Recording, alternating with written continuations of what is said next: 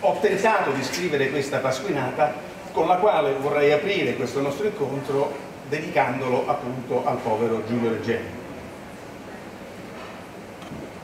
Io so certo che c'è sta un filo rosso tra la morte di quel povero Reggeni e i traffici sospetti con i saraceni che sti bastardi fanno di nascosto.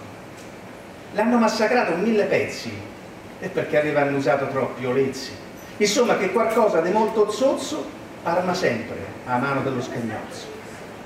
Così hanno fatto finta di essersi sbagliati e gli italiani mo fingono di star incazzati se scambiano i governi l'accusa grave e nessuno fa un cazzo per trovare la chiave. Dice, sì, vabbè, questa storia è mistero, ma io non so del tutto scemo e parlo serio perché c'ho un chiodo fisso nel pensiero, se stanno a barattare l'armi e l'oro nero. Ecco, questa è...